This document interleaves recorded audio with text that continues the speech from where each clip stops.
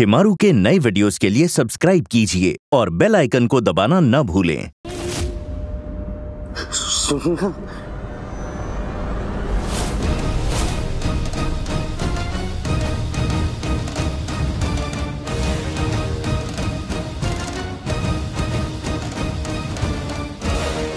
सुने ना?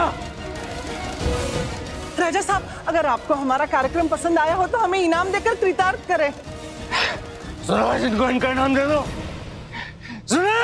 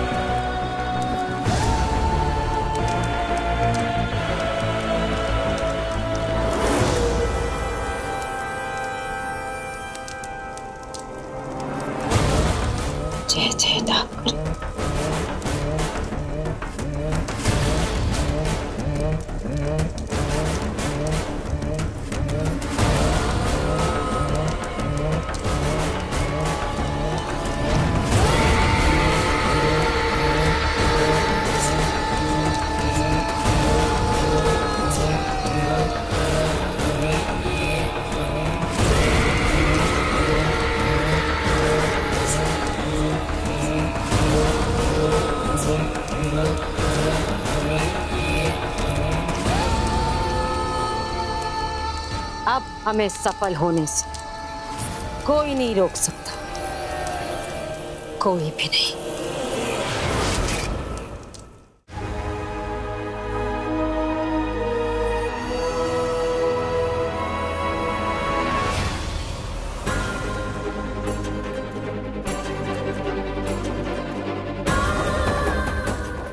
को देखती, मैं कितनी कमज़ोर पड़ जाती। हूँ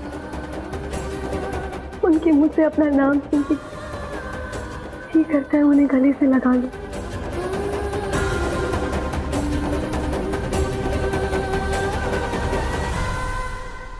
नहीं नहीं, मैं ऐसा नहीं कर सकती। मुझे अजराज के आसपास रहने के लिए हर हाल में अपनी असलियत छुपानी होगी।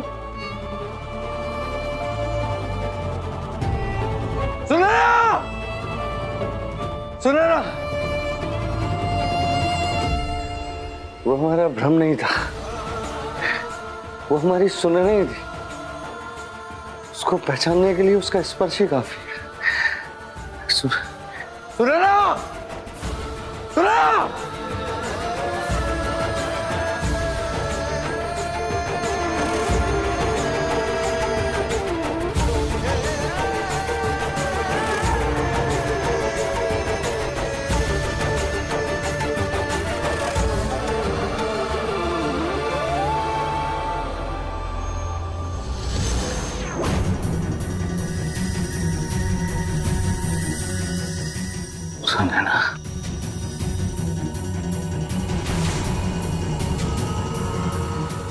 सुने ना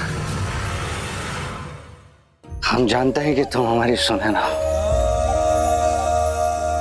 तुम्हें क्या लगा था? नर्तकी का रूप धारण करके हम तुम्हें पहचान नहीं पाएँगे।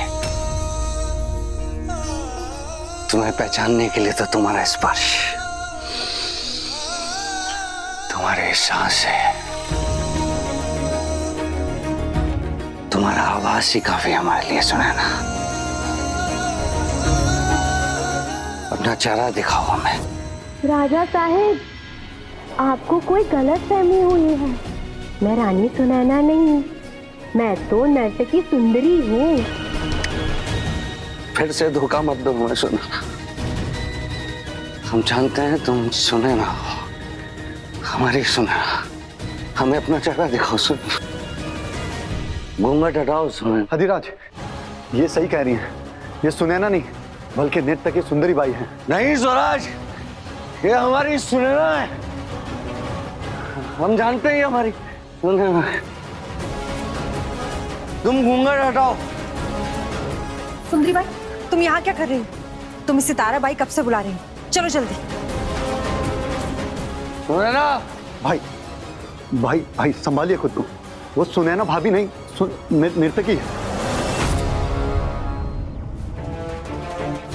मैं तुम्हें छोड़कर कहीं नहीं जाऊँगी अधिराज इस महल में रुकने का कोई ना कोई रास्ता ज़रूर ढूंढ लूँगी।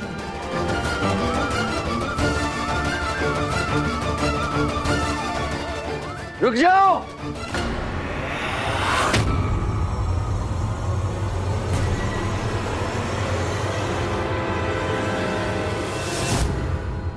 अगर तुम हमारी सुनैना नहीं हो, नृत्य की हो तो आज से तुम महल से बाहर नहीं जाओगी। यहीं रहोगी इसी महल में और रोज हमारा मनोरंजन करोगी। राजा साहेब का निर्णय सर आँखों पर।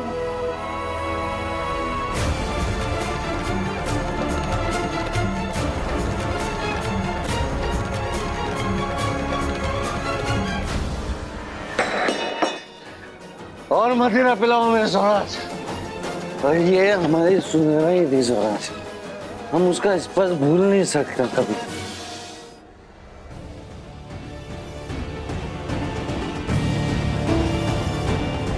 अच्छा हुआ आप सही समय पर आ गई वरना राजा साहब तो मान ही नहीं रहे थे कि मैं नर्तकी सुंदरी हूँ। सुनैना हो।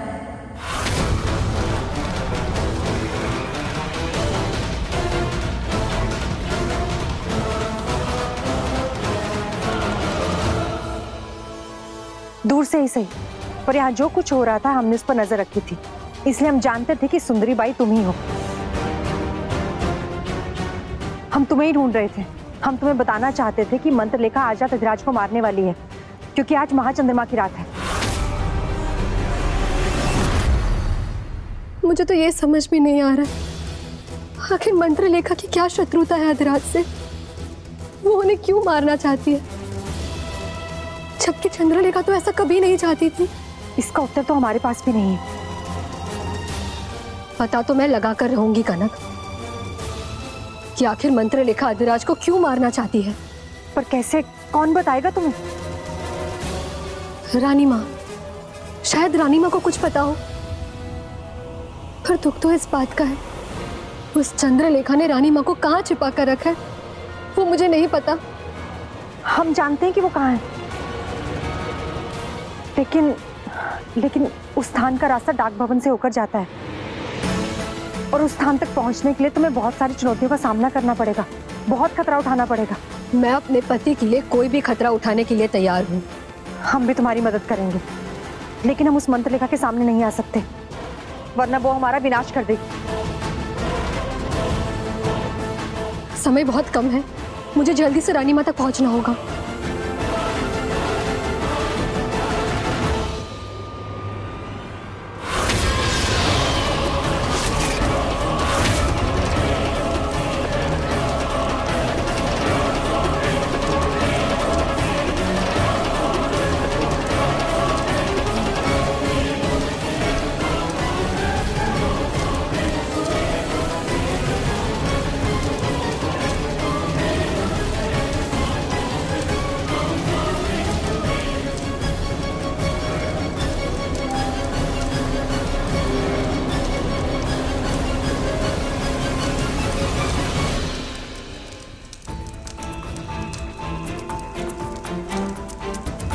ये सिद्धि चक्र है।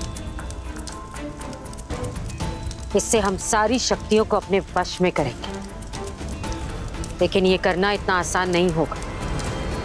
क्योंकि अगर हम इन शक्तियों पर नियंत्रण नहीं पा सके तो ये हमारे लिए बहुत खतरनाक होगा। लेकिन अगर हमने इन शक्तियों पर नियंत्रण पा लिया तो हमें सफल होने से कोई नहीं रोक सकेगा।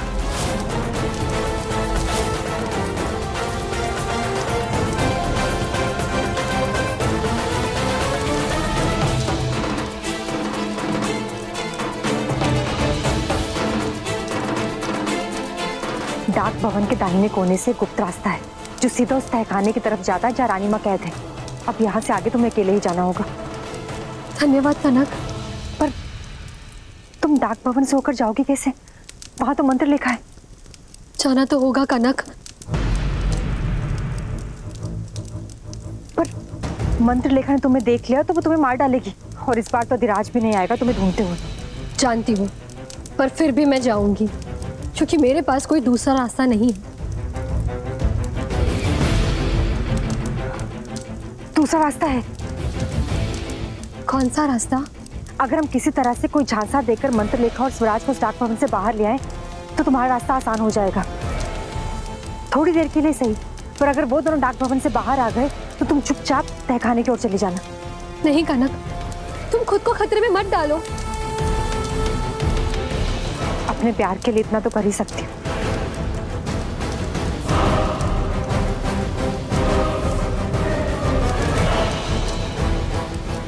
याद रखना ये हम तुम्हारे लिए नहीं बल्कि अपने अधिराज के लिए कर रहे हैं। हाँ, अब जल्दी जाओ। मंत्र लेखा की साधना समाप्त होने से पहले तुम्हें वापस भी आना है।